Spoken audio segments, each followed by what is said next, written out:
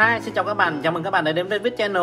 Thì hôm nay mình sẽ review độc hộp cho các bạn cái loại Rubik uh, ờ, mirror 3x3 này nhé Hay còn gọi là Rubik gương đó. Thì để mình ờ, độc hộp và so sánh với cái con Rubik 3x3 cầu vồng Cái hai loại này cũng là, là hai loại biến thể khác nhau. À, Cái con Rubik cầu vồng của mình thì bữa trước mình đã có độc hộp rồi Thì ba tầng của nó sẽ khác nhau. Tầng dưới nó cao hơn và tầng giữa thì vuông Còn tầng trên thì nó dẹp. Để mình xem con Rubik gương này nó có khác gì với con Rubik cầu vồng biến thể 3 x 3 của mình không nha. Rồi ok. Rồi bây giờ mình sẽ khui hộp nhé. Ở trên con Rubik này thì nó toàn chữ Trung Quốc không à nên cũng không đọc được cái gì nhiều. Ở đây thì mình chỉ đọc được chữ kêu này thôi còn ngoài ra thì không đọc được chữ gì nữa khác nữa. Thôi ok bây giờ mình sẽ à, khui nó ra thôi.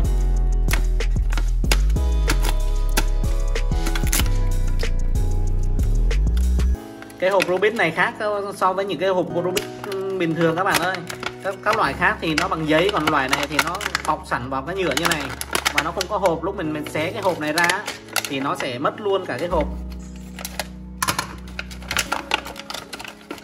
Rồi. Ok để mình vứt cái này đi. Rồi để xem nào. Ở trên trong này là cái bảng hướng dẫn để mà giải con Rubik biến thể Mirror này xem thì cũng nhìn thấy đau đầu rối nào quá. Thôi, có lẽ cái này thì để mình tham khảo sau. Chứ xem ở đây thì những người mới biết chơi Rubik như mình thì cũng không thể nào tưởng tượng ra nổi những cái cách xoay của nó đâu. Rồi, bây giờ mình chỉ so sánh thôi. Ồ, cái con này thì rất là nhẹ các bạn ạ. Mình cứ tưởng nó là cái mặt trắng gương hay là trắng bạc như này thì nó là bằng kim loại chứ. Nhưng mà thực ra cái này là chỉ bằng một lớp đề can nhựa. Nó dán lên thôi, không biết có các loại xịn hơn không thì mình không biết nhưng mà cái con này thì rất là nhẹ. Để so sánh với những cái con này thì nó nặng gần gấp đôi cả cái con này luôn các bạn ạ. Ngay cả cái con Rubik ờ, uh, IV này thì nó nặng còn hơn nhiều so với con này. Có thể nói nặng gấp đôi luôn. À bởi vì sao nhẹ các bạn biết không? Bởi vì trong này là những cái lớp nhựa nó mỏng và nó rộng ở phía trong này nè. Thực ra nó chỉ được cái mẫu mã hình thức bên ngoài thôi.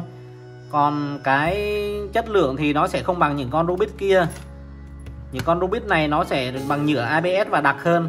Còn cái loại mình vừa mới mở hộp ra đây thì ừ, chất lượng cảm thấy nó không có bằng. Các bạn thấy không? Ở đây có có lỗ rộng này.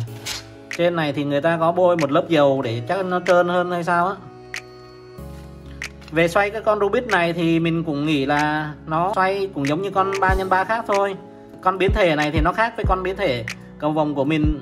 Để mà giống con biến thể cầu vòng là cái mặt này ba cái tầng của nó cũng giống giống, tương đương tương đương nhau. Còn cái mặt ngang này thì cái con Rubik gương nó cũng là những cái ô, có kích thước khác nhau, không giống như cái con Rubik cầu vồng của mình.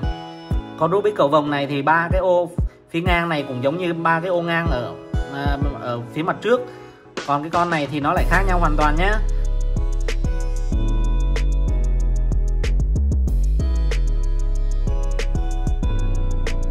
Nói chung cái con này ừ, xoay thì nếu ai mà giải được con Rubik 3x3 quen rồi ấy, thì có thể giải được con này một cách bình thường.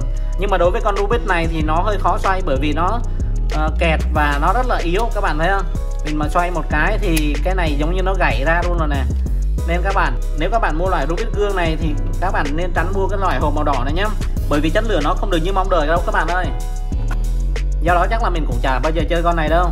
Để mình sẽ order những cái con Rubik gương khác chất lượng hơn tốt hơn và giá tiền nó đắt hơn một chút xem thế nào nhé Ok cái video để review về Rubik gương 3x3 của mình đến đây là hết rồi.